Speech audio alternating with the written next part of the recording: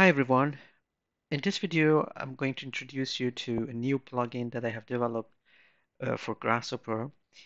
And it's basically a um, mini uh, CAM software uh, which can generate CNC or robotic toolpath for milling the, the objects from um, planar sheets. This plugin is called Woodbee, and the reason behind naming is that this plugin was developed alongside with another plugin which is called Biber uh, in the as a, as a research project uh, in the area of digital fabrication with wood material and therefore um, the focus was on uh, milling objects from wood. However, it's now possible to tune the parameters and use this software uh, for milling any other material. Because there are so many parameters in creating toolpath, typically a CAM software is a very complex software. My aim here was to simplify this um, workflow as much as possible and in the same time I'll keep those parameters for advanced user so they can tweak them into their needs. In this video, I'm going to just show you the whole picture and the structure of the plugin and the workflow.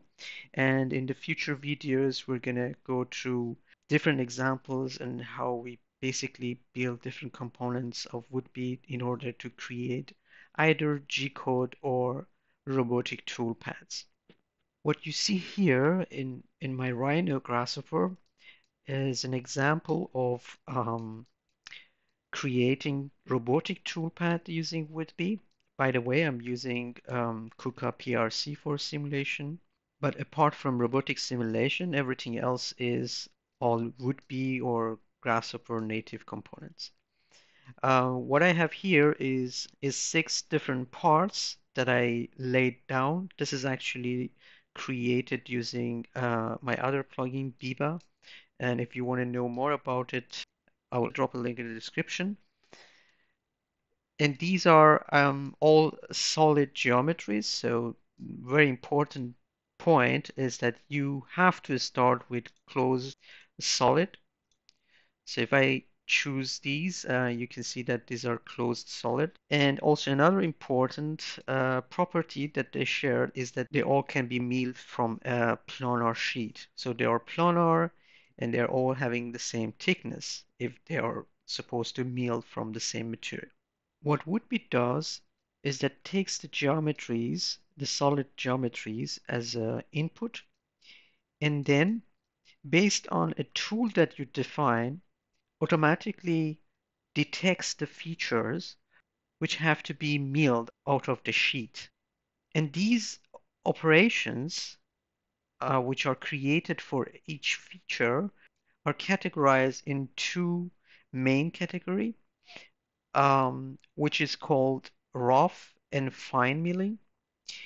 And then the operations will be converted to a toolpath, which is specific to Woodbee, meaning that is an abstract toolpath, and it has to be post-processed in order for a particular machine to run this.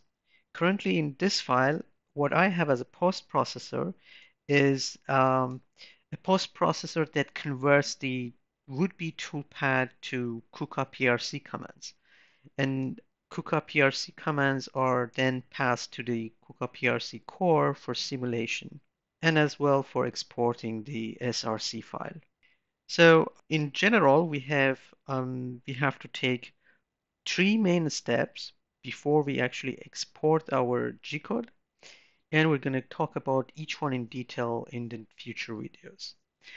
So please stay tuned and thanks for watching.